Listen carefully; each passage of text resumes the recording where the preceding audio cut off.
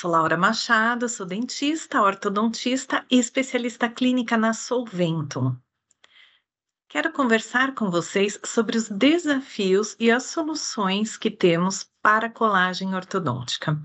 A gente sabe que é um grande desafio a colagem, que todas as peças permaneçam coladas durante todo o tratamento. Mas quando começam a soltar essas peças no nosso consultório, a gente normalmente não tem um parâmetro para saber se o que está soltando no nosso consultório está dentro de uma normalidade ou muito acima. Então, tem um estudo que foi publicado no Journal of Clinical Orthodontics que diz que 5% de tudo que a gente colar vai falhar. Isso envolve os bractes, os tubos, botões, os acessórios. 5% apresenta essa falha na colagem. E isso foi considerado uma normalidade. Então, agora a gente passa a ter um parâmetro conhecendo esse estudo. Então, eu consigo fazer uma autoanálise no meu consultório para saber se o índice de descolagem dos meus pacientes está muito acima disso ou se está dentro dessa média. Se estiver muito acima, a gente começa a ter vários problemas. Primeiro, que a gente faz toda a análise da documentação do nosso paciente, a gente chega num diagnóstico e traça um plano de tratamento. Quando a gente faz a primeira consulta e vai conversar com ele sobre isso, geralmente a primeira pergunta que ele faz é: quanto tempo eu vou ficar com o aparelho? Né? E a gente acaba dando uma estimativa de tempo para ele. Então a gente fala, olha, no seu caso, aproximadamente 24 meses, 30, 36, não sei, depende, né, do caso daquele paciente. Então a gente dá uma estimativa, mas se ele solta muitas peças durante o tratamento, nós não vamos conseguir finalizar dentro do prazo que a gente tinha acordado com ele. Então é importante que ele saiba durante o tratamento, a cada quebra que ele tenha, que o tratamento vai demorar mais para ser finalizado, porque enquanto ele está com uma peça solta, não está funcionando o tratamento naquele momento. Então, isso é um ponto. Outro ponto é que a nossa agenda começa a ficar toda bagunçada. Porque se eu começo a ter muitos encaixes, né? Se o paciente solta, o fio fica machucando, a gente vai precisar atendê-lo antes do prazo combinado, a gente vai precisar encaixar. Então a nossa agenda começa a virar uma bagunça. E a gente não tem horário, muitas vezes, para atender o paciente novo. Né? A gente precisa fazer um retrabalho, que não é nada vantajoso para a gente. E outro ponto é que ele começa a ficar insatisfeito com o tratamento. Então, toda vez que ele vai lá, eh, fala na nossa recepção, né, que está sempre quebrando. Então, isso não é nenhuma vantagem, nem para a gente, nem para o paciente. Para a gente entender onde a gente pode estar tá falhando, o que, que a gente pode melhorar durante esse tratamento, a gente precisa entender quais são os fatores que influenciam nessa falha de adesão. O principal é a contaminação por umidade, o que é muito irônico, porque trabalhamos em meio úmido, o dentista trabalha em boca, e a maioria dos produtos odontológicos são hidrofóbicos, eles não toleram umidade. Então a gente precisa conseguir fazer um bom isolamento para fazer a nossa colagem ortodôntica. Só que nem sempre a gente consegue, né? Olha aqui no molar como é difícil, a coroa clínica normalmente é muito curta, então é difícil a gente conseguir fazer um bom isolamento. Outras vezes, tem fluido gengival saindo por causa da gengiva inflamada. Lógico que a primeira colagem a gente não vai fazer na gengiva com essa situação, só que muitas vezes a recolagem a gente acaba fazendo, porque o paciente durante o tratamento apresenta uma dificuldade de higienização e muitas vezes volta para a gente com um bracte solto e a gengiva nessa condição e a gente precisa fazer essa recolagem. É isso que eu quero mostrar para vocês que, que tem na linha transbonde que tolera a umidade e que nessas situações mais desafiadoras a gente pode acabar usando. Outro fator que influencia na falha de adesão é tratar todos os dentes da mesma maneira. Muitas vezes, na nossa rotina, vai ficando muito corrida e a gente para de prestar atenção aos detalhes. Aí a gente começa a aumentar a nossa falha de adesão, porque a gente para de prestar atenção, por exemplo, que aquele dente é uma faceta em resina, ou é uma cerâmica que eu preciso tratar de uma maneira diferente, ou que apresenta desmineralização ou fluorose. Dentes anteriores e posteriores também eu preciso tratar de maneiras diferentes. Os dentes posteriores são os que mais trazem problemas para a gente. Como eu já falei, né? A coroa clínica curta do molar é um fator. Os posteriores toleram toda a nossa força oclusal, né? É a carga mastigatória é maior em cima deles. Eles apresentam maior interferência oclusal também. Então, às vezes, colar um tubo não é tão simples assim, né? Se torna é, mais difícil. Fotopolimerizar os tubos também é mais difícil, porque a gente não consegue deixar o fotopolimerizador bem perpendicular. A gente acaba precisando utilizar mais tempo de fotopolimerização nos molares. Isolar é bem complicado e também eles precisam de mais tempo de condicionamento ácido, porque eles têm, olha, maior quantidade de esmalte aprismático. Outro fator a técnica que a gente usa, porque a gente tem aproximadamente 11 passos durante a nossa colagem. Então, são 11 é, chances de falhar, né? Se a gente conseguir reduzir o número de passos, a gente reduz as nossas possibilidades de falha. Técnica do material ser utilizado. Muitas vezes a gente, por um motivo ou outro, precisa trocar o produto que a gente está acostumado e a gente não tem muito hábito de ler bula. Então, a gente acaba utilizando o produto novo da maneira que a gente utilizava o produto que a gente já estava habituado.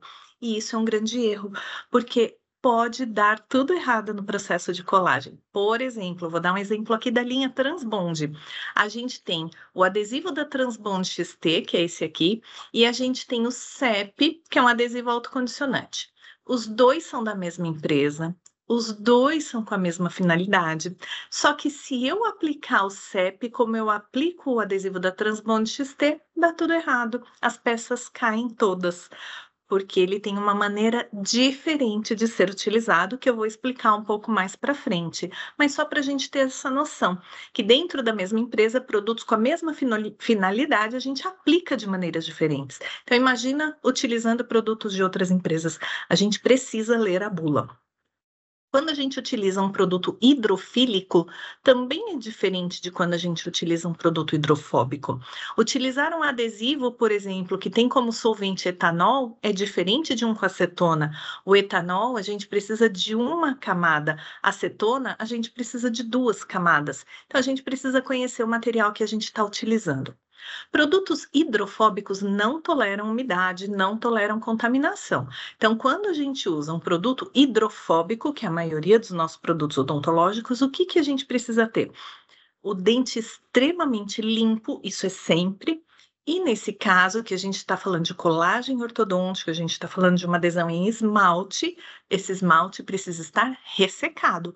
Ele tem que estar muito seco, porque o adesivo não tolera umidade perde a força de união em contato com a umidade, reduz essa força de união. Quando a gente usa um adesivo hidrofílico, por exemplo, é diferente.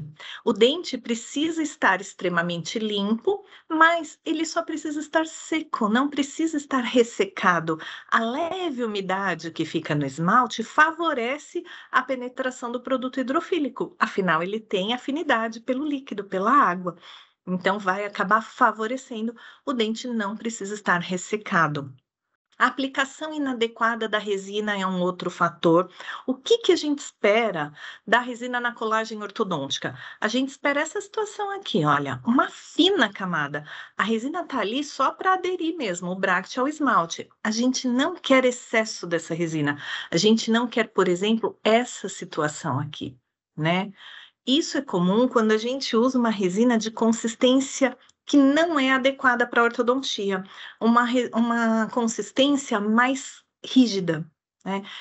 Que é comum, por exemplo, nas resinas de restauração, porque na restauração vai ser esculpido um dente com aquela resina, então ela precisa ser mais firme. Na ortodontia, não, a resina precisa ter uma maciez, para quando a gente pressionar o bract, ela escoar com facilidade, só que também ela precisa manter o bract em posição, para que a gente consiga ter aqui, olha, o mínimo necessário de resina só para fazer adesão e não excesso de resina.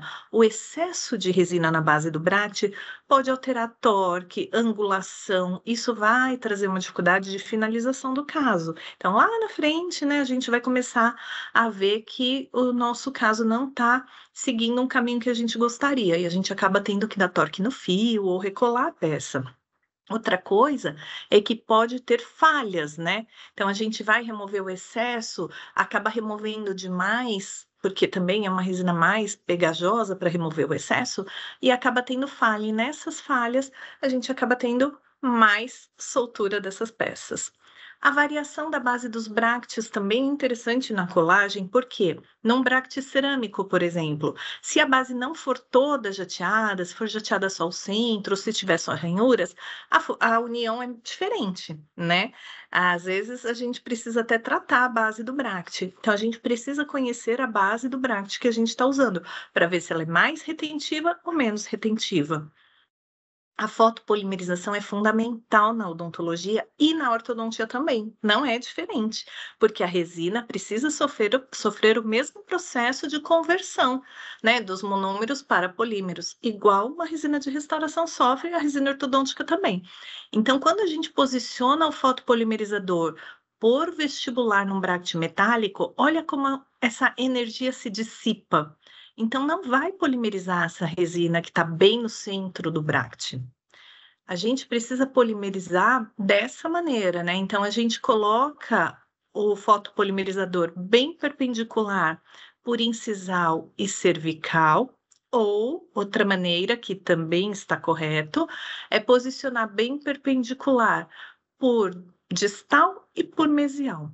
Então, é importante que não esteja dissipando, que a luz esteja concentrada. Esse posicionamento do fotopolimerizador a gente pode usar com os bractes cerâmicos, porque a cerâmica vai permitir que essa luz atravesse ela e polimerize a base do bract. Então, é muito importante o posicionamento do fotopolimerizador, além da qualidade desse fotopolimerizador. Então, quanto mais a gente afasta o fotopolimerizador, a gente vai perdendo a irradiância. Quando a gente inclina o fotopolimerizador, lembra que eu falei dos molares, né? Ele precisa de mais tempo de polimerização justamente por isso, porque a gente não consegue pôr bem perpendicular, a gente inclina e a gente reduz essa irradiância. Então, posicionamento é muito importante. E como que a gente vai identificar essas falhas? Primeiro, a gente vai confirmar a potência do nosso fotopolimerizador. Ele precisa ser potente também, né, para fazer a conversão correta e a resina desenvolver a força de união que ela foi feita para isso. O remanescente do adesivo está rígido ou não? Muitas vezes o paciente vem com o bract posicionado, porque está com elastique e o bract está lá em posição. Então, a gente consegue ver a base desse bract e sentir essa resina. A resina bem polimerizada, ela é bem dura, ela não fica esfarelando. Então, se ela estiver esfarelando, a gente falhou no momento dessa fotopolimerização. Então, é importante a gente verificar como que está o remanescente. A falha aconteceu nas primeiras 24 horas, geralmente a gente cometeu algum erro quantas vezes a gente já reposicionou o bract. Então, tem estudos que mostram que os bracts que se soltam mais de três vezes produzem o dobro de falha de adesão. Então, é muito importante que a gente faça a nossa primeira colagem muito bem feita para evitar ficar recolando peça, atrasando o tratamento e ainda vendo aqui, né, que pode apresentar ainda o dobro de falha de adesão porque eu estou fazendo várias recolagens. Depois que a gente elimina essas variáveis, é importante a gente identificar onde ficou o adesivo. Lembrando que aqui nós estamos falando apenas da nossa parte como ortodontista, né? É, dos nossos procedimentos para essa colagem ortodôntica. Não estamos falando em relação ao paciente porque o paciente a gente não consegue ter controle, né? Muitas vezes a gente pede para ele não comer nada duro e ele come, é, então a gente não consegue ter esse controle. estou falando de situações onde nós, ortodontistas, conseguimos ter o controle que é dentro do nosso consultório, dentro da nossa rotina clínica. Então, por isso vocês vão ver aqui, né? Ah, soltou, ficou a resina onde? Estamos falando só dos nossos procedimentos, tá? Então, quando solta um bract, e a resina fica toda aderida na base desse bract, ou fica só um pouquinho aqui no dente, o que é que pode ter acontecido? Contaminação por umidade, e aqui normalmente essa é a falha das primeiras 24 horas, que eu falei que geralmente a gente cometeu alguma falha, né? A contaminação por umidade e a gente está utilizando produtos hidrofóbicos que não toleram essa contaminação. Ou eu não fiz o condicionamento ácido por tempo suficiente. Quando solta o bract, fica metade da resina na base do bract, metade da resina no dente, o que é que pode ter acontecido? Não fotopolimerizei corretamente, então tá aqui a presa incompleta dessa resina, então teve uma subpolimerização, por isso, assim, polimerizar por mais tempo não é ruim, por menos é, né? Então, se eu não polimerizei correto, é, a, pode soltar e fica parte na base do bract, parte no dente contaminação da resina, quando a gente pega o hábito de, ai, nossa, a pontinha da resina tá com resina e eu quero limpar e limpa na luva, contamina essa resina, então não é legal. Quero limpar, sempre vai ser com gás. Materiais expirados, né? Então a gente nunca deve usar fora da validade ou armazenados próximo de produtos com eugenol, que também interfere nessa polimerização. Quando sai a base do Bract praticamente sem resina, a resina ficou toda no dente. O que, que pode ter acontecido? Contaminação do bract. Isso é comum em tubos, porque como a gente estava conversando, a coroa clínica do molar muitas vezes é muito curtinha, a gente vai fazer essa colagem, o tubo dá uma escorregada, contamina um pouquinho com a saliva que está ali próximo da gengiva e a gente não percebe, reposiciona o bract, o tubo, no caso, e ele acaba soltando com facilidade. Ou então a gente deixa cair ali na bandejinha que já tinha o roletinho de algodão que a gente tinha tirado e contamina a peça. O protocolo ideal de colagem ortodôntica, então, precisa ser fácil para o ortodontista reproduzir, prevenir contra a contaminação se estivermos utilizando produtos hidrofóbicos, reduzir o número de, de variáveis o máximo possível, ter alta resistência de união, só que baixa o suficiente para evitar a fratura do esmalte. Isso aqui é fundamental. Então, as resinas para colagem ortodôntica, elas precisam ter essa característica, ter alta força de união para tolerar todo o tratamento, só que no momento da remoção não pode ser tão alta essa resistência de união a ponto de danificar o esmalte nessa remoção, né? e apresentar baixo índice de falha de adesão. O que, que então temos da linha Transbond para facilitar a nossa rotina? A gente tem os adesivos convencionais, que é a linha Transbond XT, que tem a resina e o adesivo. Eles são separados mesmo, a gente vai precisar dos dois. E por que, que eles são considerados convencionais? Porque são hidrofóbicos, não toleram umidade. Então, é uma resina muito estudada, é uma resina que tem já muita comprovação científica, mas se tiver contaminação, a força de união cai, porque ela é hidrofóbica, não tolera essa contaminação. E quando a gente não consegue ter um bom controle? Então, muitas vezes a gente atende pacientes que têm uma saliva muito grossa, é, pacientes que não conseguem ficar muito tempo tempo quietinhos, né? É, e acaba o isolamento não funcionando muito bem. É, então, a gente vai precisar fazer uso de adesivos hidrofílicos, que toleram essa contaminação. Ou como a gente viu lá atrás, né? A gengiva está inflamada, então está saindo aquela saída, aquela gengiva do fluido gengival, é, sai um pouquinho de sangue. Então, a gente vai precisar usar o Transbond Self Etching Primer, que é o CEP, que a gente chama, né, carinhosamente de CEP, e a resina, que é a Transbond Plus Color Change, que a gente chama de Color Change, que é a resina pink. Este par é hidrofílico, este par tolera a contaminação de umidade. E a gente vai falar também da Transbond Supreme LV, que é a resina Flow para ortodontia. Uma nova tecnologia que tem é o Bract cerâmico da linha Clarity com a tecnologia PC Flash Free, onde vem a resina já na base do Bract com uma esponjinha que não permite ter excesso, facilita muito essa colagem ortodôntica. Os adesivos convencionais, então, né, que é a resina e o adesivo da Transbond XT, que é padrão ouro. A resina da Transbond XT possui muita carga. o adesivo da Transbond XT não tem carga. Por que, que ele não tem carga? Para proteger o esmalte no momento da remoção, tornar essa remoção dos bractes mais segura. Então, a gente vê aqui, olha o adesivo da Transbond XT que não tem carga, e olha a resina, ela tem de 70% a 80% de carga de quartzo e sílica. Então, é muito legal que ela tenha bastante carga.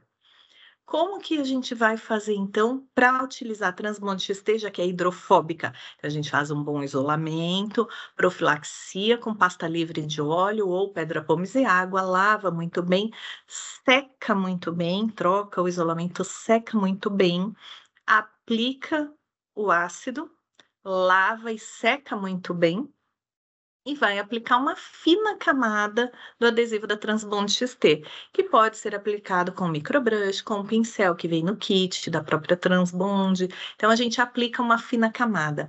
Só que para fazer essa aplicação, o que, que a gente quer desse esmalte? Que ele esteja ressecado, porque é hidrofóbico, então precisa estar com esse aspecto aqui bem branco opaco. A gente pincela essa fina camada, jato de ar para eliminar esse solvente por 2 a 5 segundos o jato de ar, e pode ou não fotopolimerizar o adesivo.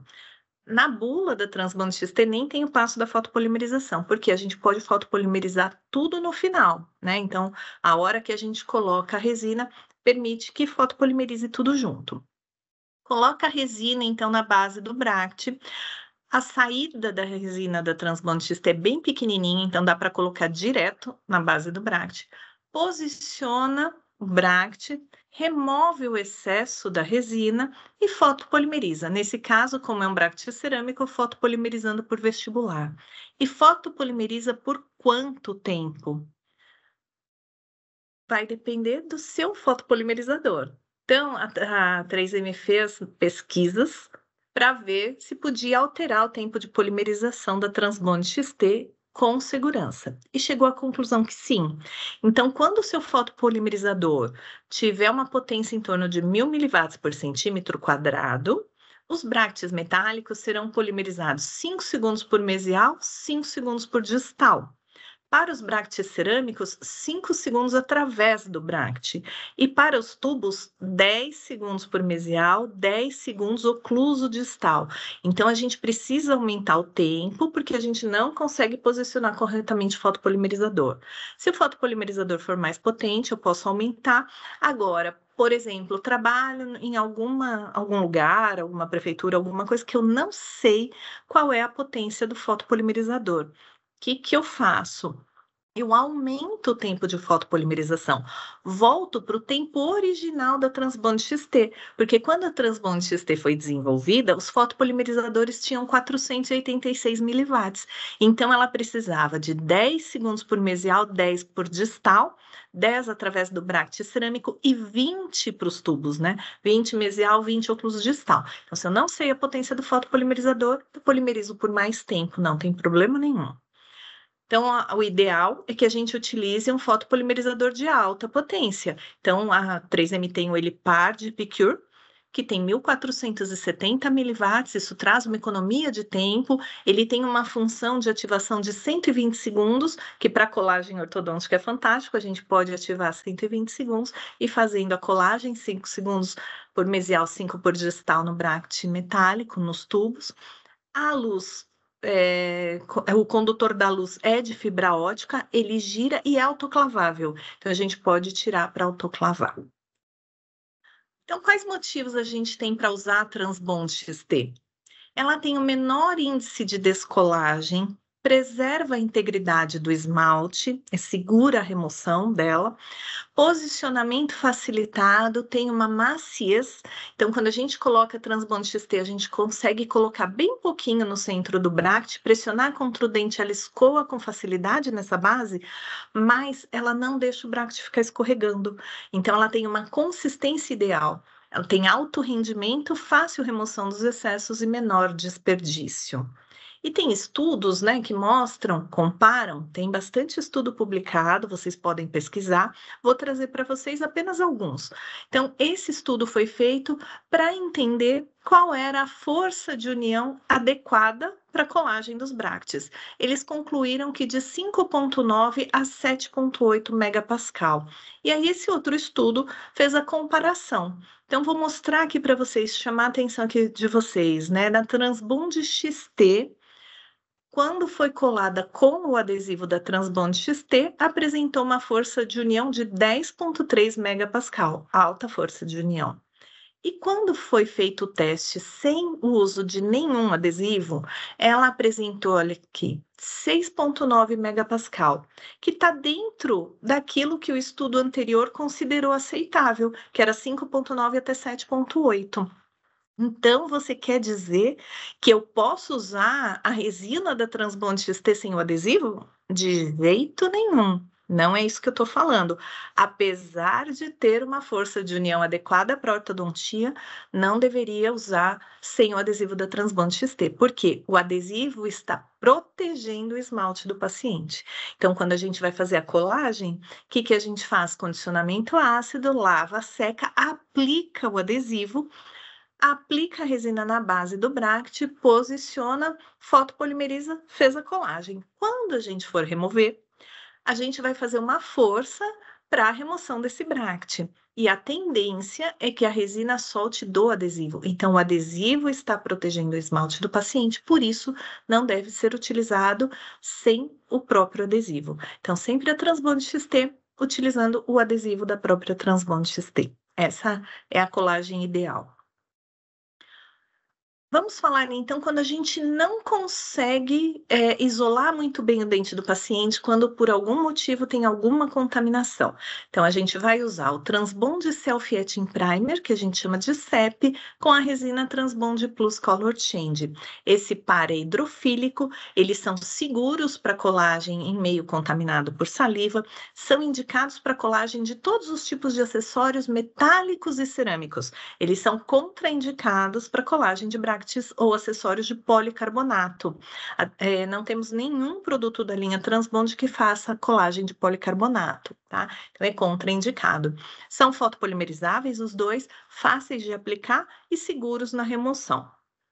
Afinal de contas, o que é o CEP, né? Falo para vocês que é o meu produto preferido. Gosto demais do CEP. Ele é um adesivo para orto autocondicionante, ou seja, ele tem ácido e adesivo aqui nesse blister. Então, ele facilita muito o nosso processo de colagem e reduz a quantidade de passos de colagem fantástico, além de ser hidrofílico, né? Então, é um adesivo autocondicionante, é hidrofílico e o produto que tem aqui é o suficiente para a colagem de uma arcada toda. Então, ele cola 7 a 7 superior, por exemplo. Quando for colar o inferior, manipulo o outro blister e ele vai colar 7 a 7 também. Então, a quantidade é suficiente para a colagem de uma arcada. Ele reduz os passos de colagem, porque faz ácido e adesivo ao mesmo tempo. É interessante porque a gente não lava o CEP, né? Então, vai usar ácido e adesivo e já vai fazer a colagem. Então, não vai sabor ruim para a boca do paciente. É muito mais agradável. Tem paciente que todo gosto um pouquinho ruim, ele tem enjoo tal. Nesse caso, não vai o gosto ruim para a boca dele. É indicado, então, para colagem em situações desafiadoras, onde a gente tem a presença de saliva, e é eficiente e seguro para ortodontia. Afinal de contas, o que, que tem né, no CEP? Vamos ver. Ele é um blister com três compartimentos. Esse maior aqui, que é o compartimento de cor preta, ele tem éster de ácido fosfórico, metacrilato, BGMA, canforoquinona, estabilizador. Então, ele tem predominantemente o adesivo. Se a gente fura aqui, esse líquido é amarelo. O compartimento menor é o branco, e ele vem logo em seguida aqui do preto, ele tem predominantemente ácido. Se a gente fura, o líquido é transparente. O último compartimento aqui está vazio, ele vem com microbrush aqui, né, instalado nesse compartimento vazio, que é onde a gente vai manipular, misturar os dois produtos que estão aqui separados. Quando a gente pensa assim, ai, mas tem dois produtos em um, será que realmente funciona, né? É, tem algum estudo que mostra? Então a gente vê aqui, olha como é o padrão de desmineralização do esmalte quando a gente usa o CEP e quando a gente usa o ácido fosfórico. É bem semelhante. Então, a gente vê que realmente o ácido funciona bem. E o legal é que ele proporciona menor perda desse esmalte. Lembra que eu falei que a gente não vai lavar? Então, os minerais são reaproveitados, né? Tem baixo pH, fazendo esse bom padrão de condicionamento. E quando a gente seca, porque a gente precisa do ar para eliminar esse solvente, para secar mais esse produto, torna o adesivo mais viscoso e paralisa o processo de condicionamento. Então, ele é bem seguro. Quando a gente pensa no, na força de união do adesivo, então, será que é bacana também? Olha esse estudo que mostra, né? Para um dente seco, olha a força de união desenvolvida pelo adesivo da Transbond XT, que é padrão ouro, e olha a força de união do CEP, é até maior. Quando a gente tem umidade, olha como cai né, o adesivo da Transbond XT, porque ele é hidrofóbico, ele não tolera essa umidade.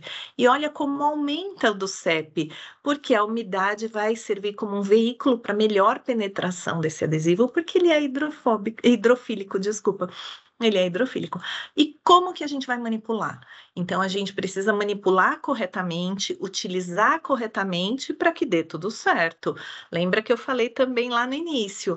Se utilizarmos como a gente utiliza o adesivo da Transbond XT, dá tudo errado, porque ele tem um jeito próprio para ser utilizado. Como que a gente vai fazer primeiro a manipulação dele, então? A gente aperta essa bolinha aqui né, que é o casulo preto, aperta a bolinha e empurra o líquido para o próximo casulo.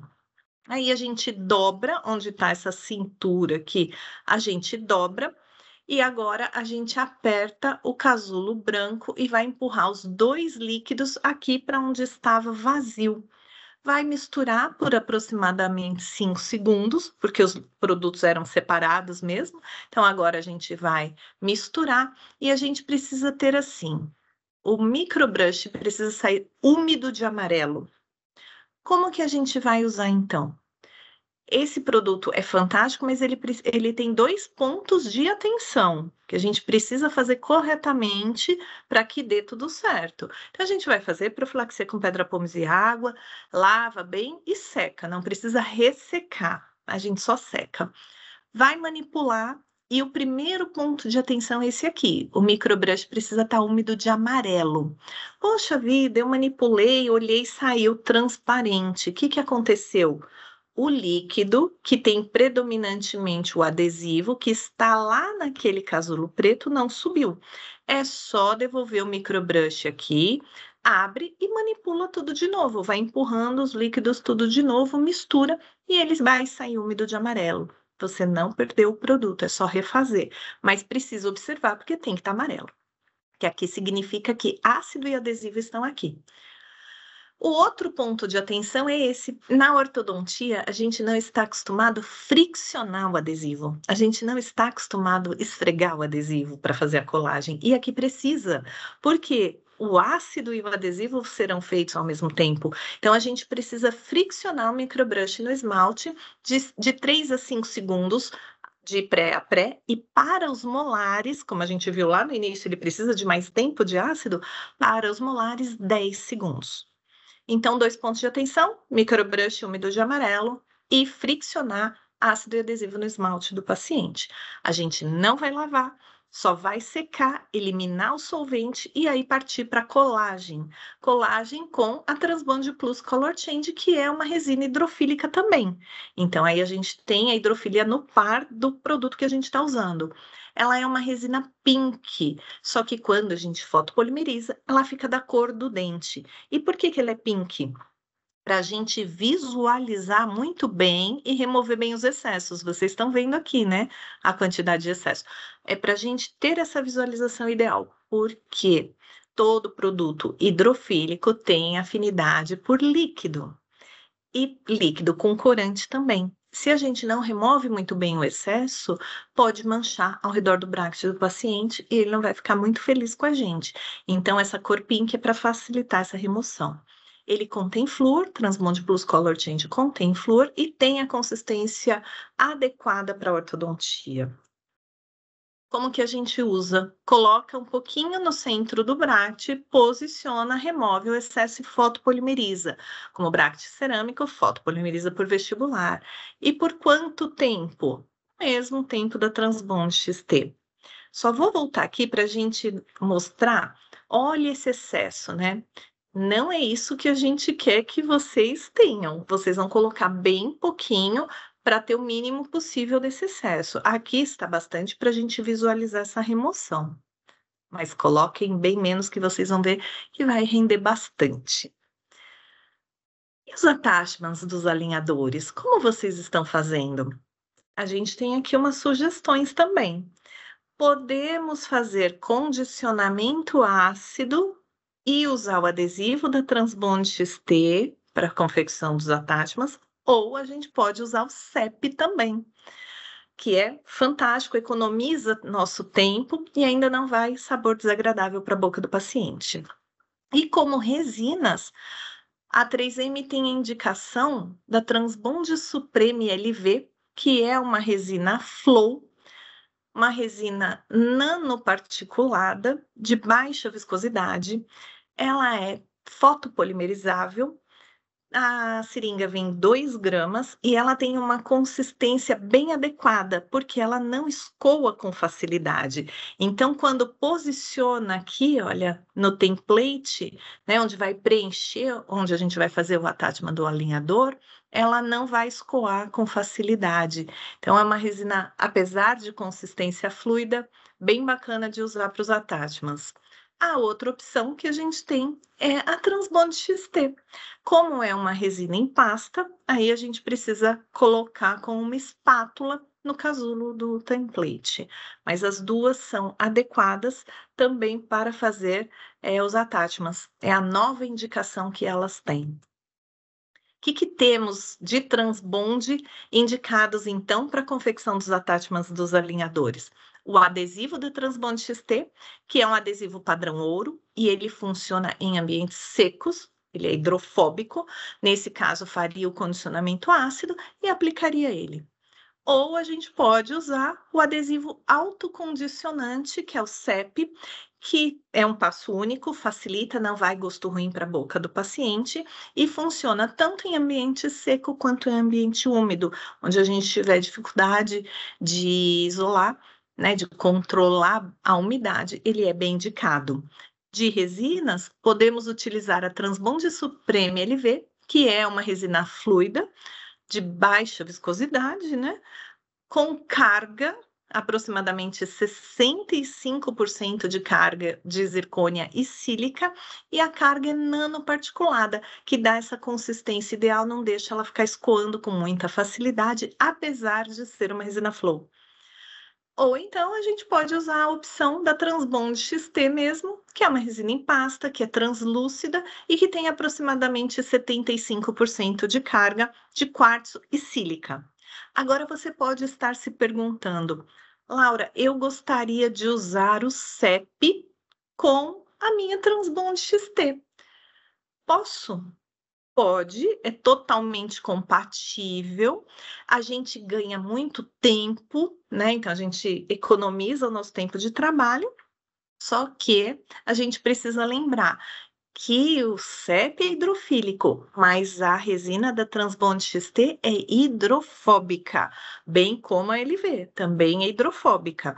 Então a gente não tem esse benefício da contaminação aqui, né? A gente pode usar, é compatível com o CEP, mas só ele que é hidrofílico, as resinas não. Então, em ambiente contaminado, a gente não pode confiar né, que vai tolerar. Então, a gente usa o CEP e a gente precisa deixar bem sequinho para usar as resinas. Resumindo tudo o que a gente conversou, o protocolo de adesão ideal deve promover uma força adesiva suficientemente alta para manter os acessórios colados, só que baixa para preservar o esmalte do paciente no momento da remoção ter baixa falha de adesão, apresentar poucos passos e trazer para o nosso consultório uma economia de tempo. Era isso que eu tinha para falar com vocês. Muito obrigada e espero que vocês aproveitem muito bem a linha Transbonde.